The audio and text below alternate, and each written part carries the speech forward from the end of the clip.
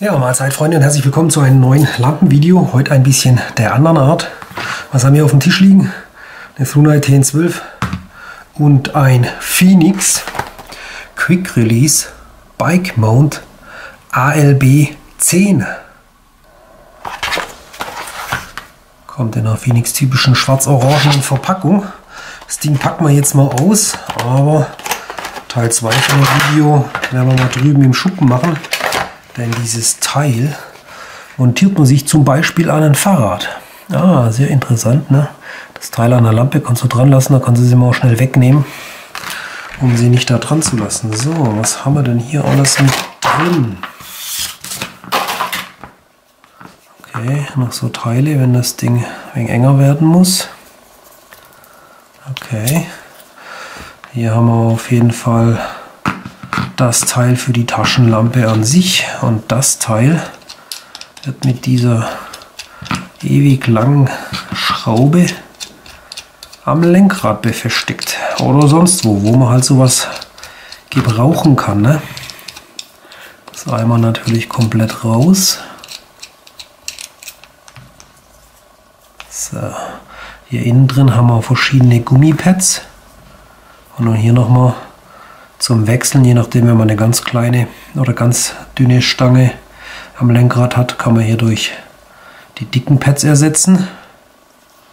Oder man nimmt die beiden dünnen Pads. Lassen die sich einfach hier rausnehmen. So einfach gehen die gar nicht raus.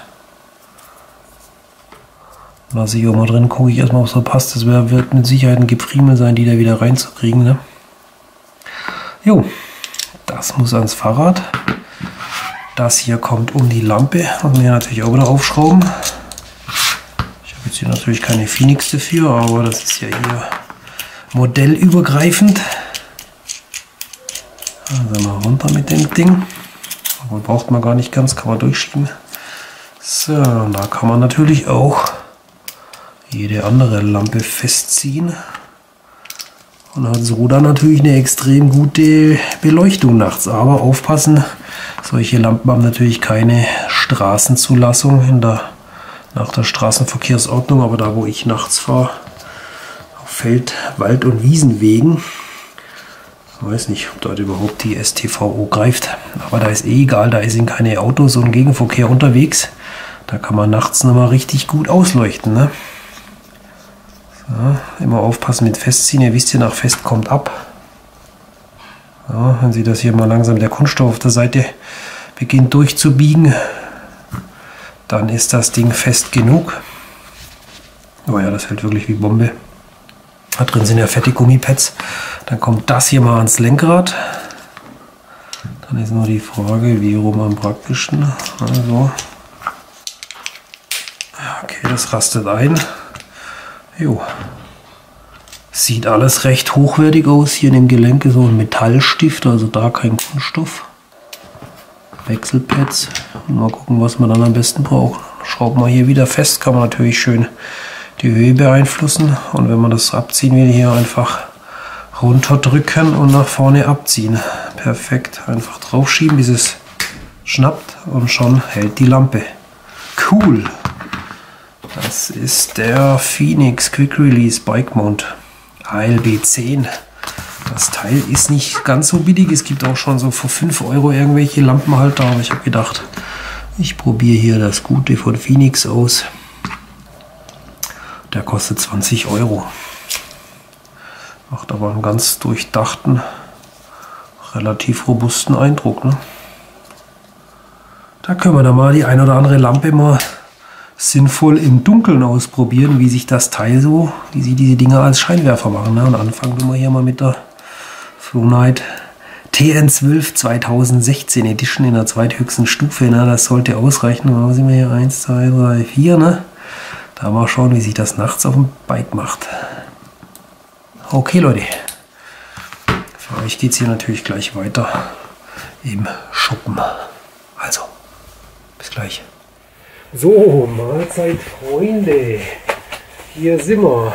Wo ist jetzt das Teil? Erik, gibst du mir beim dran schrauben? So, hier haben wir das gute Stück. Ja, ihr seht das. Ich musste aber die beiden dicken Gummibacken einsetzen, damit es an den Griff greift. So, Erik, pass mal auf. Jetzt machen wir das mal runter. Du sollst das mal halten. Ja. So, und jetzt, ja, so hält das doch schon besser, ne? Einfach hier dran schrauben. Das Teil hier durch. Ja, sitzt das jetzt krumm oder was? Ne, ist nicht beweglich. Ist wenigstens hier schön alles mit Metallgewinde und so. Und den nur nicht vor Kanten. Was es aber gerade tut. Moment, Erik. So, jetzt. So, Moment. Müssen wir erst ein bisschen festziehen. So, jetzt stecken wir die Lampe auf. Ja, okay. Feste drücken. Feste. Feste zurück. So, bis es einraschelt. So, jetzt lassen wir Das auf. anmachen. Anmachen, ja, aber nicht vorne reingucken. Machen wir an. Okay, das Ganze muss natürlich noch einen Tacken runter. So. Na, so ist doch eigentlich gut, oder? Ja, und dann ja mal in die Nacht sehen. Genau, aber Luft, das kommt aber weiter in die Mitte. So, Moment. Ja, das mit diesem Gummipolster dazwischen drin, das hält richtig gut. So, schön in die Mitte. Dann kann man das schon mal grob ausrichten. Ne? Man braucht, sag ich mal, so den, die zwei Meter vor sich noch nicht viel sehen. Und dann kann man es festschrauben. So. Ja, die hat ja eine große Reichweite, die Lampe. Kann man jederzeit nochmal nachstellen. So, jetzt greifen diese Gummipolster schön. Du brauchst nicht übertreiben dem Festziehen, das wackelt natürlich ein bisschen, ist ja alles gummiert. So, lässt sich dann immer noch ein bisschen bewegen. Perfekt. Hier kann man so durchzeppen. So. So sieht die Geschichte dann da dran aus, ne?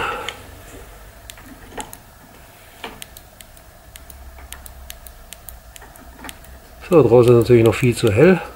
Werden wir dann mal im nächsten Video anschauen, wie das im Dunkeln aussieht, ne? Coole Geschichte. So, Moment, hier unsere Innenraumbeleuchtung mal mitnehmen hierher. So, dann ist es hier ein bisschen heller, ne?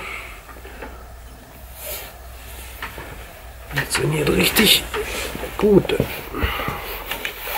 Einfach da hinten runterdrücken, nach vorne wegschieben. Mal auf schwach, ne? Die Bombe hier drin. Einfach hier drauf. Zack und zurück. Kann man sich hier schön die Höhe einstellen, festschrauben.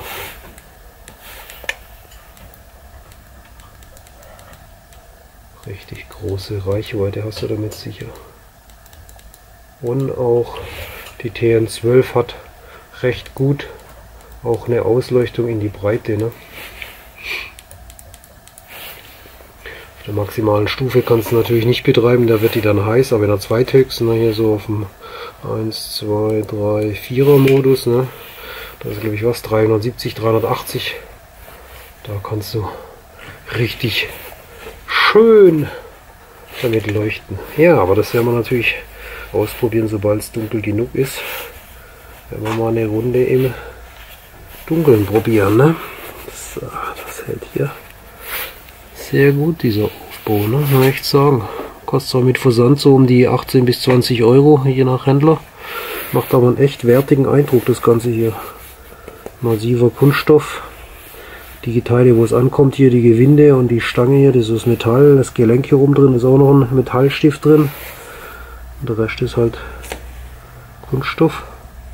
Hier oben, wo dieses Oberteil an dieser Schelle befestigt ist, ist auch ein Metallstift drin. Also, ja, macht ganz guten Eindruck, dieser Fahrradhalter hier von Phoenix. Jo, würde ich sagen, danke fürs Reinsetzen, bewerten, kommentieren und äh, das werden wir auf jeden Fall noch in einem Nachtvideo demonstrieren. Ich warte nämlich noch hier auf die, ich habe mir noch eine kleine weitere Halterung hier bestellt für die Digicam, dass ich die kleine Sony da drauf packen kann, dass man mal nachts beim äh, Fahren filmen kann. Ne? Und dann schauen wir uns das dann richtig in Action an. So, würde ich sagen, das war's jetzt mal mit Teil 1 der Phoenix Fahrradhalterung bestückt mit einer Thunite 12 2016. Ne? Interessante Kombination. Ciao Leute, macht's gut. Bis zum nächsten Mal. Und hier noch eine Thunite. Die Wahnsinns TN36 UT ist natürlich eine geniale mobile Videoleuchte. Und selbst hier in der starken Stufe von den drei Standardmodi, ne, das Ding wird noch nicht warm. Das hat hier dann glaube ich über 1000 Lumen, aber ein riesen Kopf. Ne? Cool. Ciao, macht's gut.